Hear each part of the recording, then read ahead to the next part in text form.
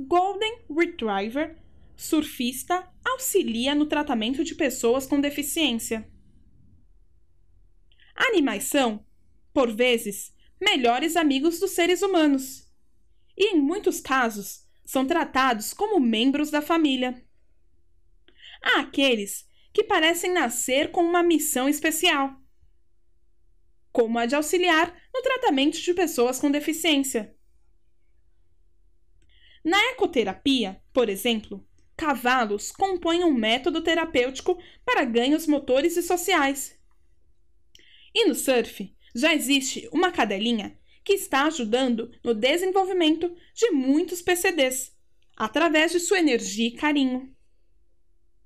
Ricotte, uma Golden Retriever de 7 anos de idade, foi treinada para ser um service dog.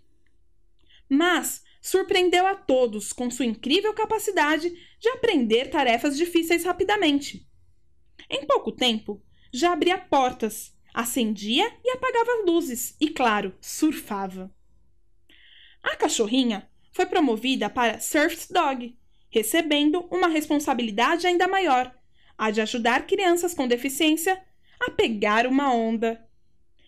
Isso fazia com que os pequeninos adquirissem mais equilíbrio e segurança, além de muita diversão e momentos marcantes. A fama de Ricotte fez com que ela conseguisse quase 400 mil dólares para causas beneficentes.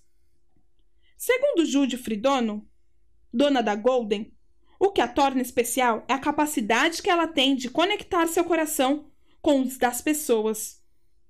Ela, intuitiva e empaticamente, alerta sobre necessidades emocionais e físicas dos pacientes, o que permite profundas interações curativas, afirma.